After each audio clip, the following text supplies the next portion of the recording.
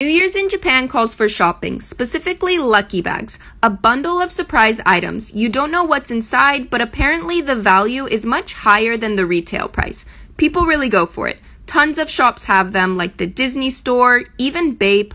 The Pokemon Center was insanely crowded, and the lines, don't even get me started. North Face even had a private line director.